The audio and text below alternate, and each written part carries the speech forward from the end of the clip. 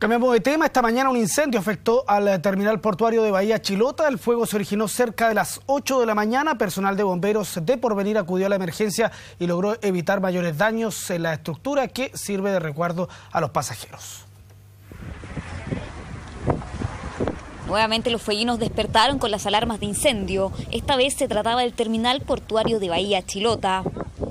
Alrededor de las 7.40, 7.45, personal de guardia de la avenida Puerto vio que había humo y fuego en el sector del terminal de Bahía Chilota y gracias a un entrenamiento en conjunto que se había hecho con bomberos en forma previa, se pudo atacar el incendio con las primeras acciones. Se desplegaron las tres unidades de este cuerpo para, para controlar la situación. Ya, gracias a Dios, eh, la estructura fue eh, estimativamente aproximadamente salvada en un 90%.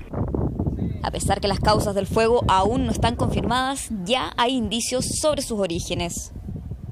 Lo que fue dañado, eso va a tener que eh, em, hacerse responsable. Yo imagino que la empresa que estaba eh, haciendo trabajos, se estaba haciendo un trabajo de mejoramiento de la techumbre. Estaban trabajando con material como alquitrán y con soplete. Seguro que la ocasión de un poco el viento se le, se le arrebató el fuego y empezó teoría que será confirmada por las pericias de bomberos, incendio que también afectó a las boleterías del terminal portuario de Porvenir.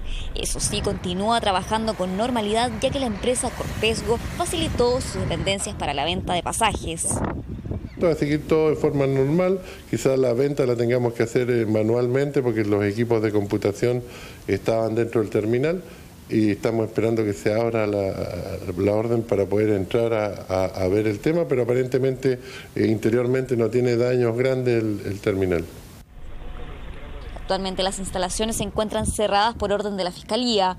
Esperan que dentro de dos o tres días el terminal de Bahía Chilota en Porvenir retome sus funciones de manera normal.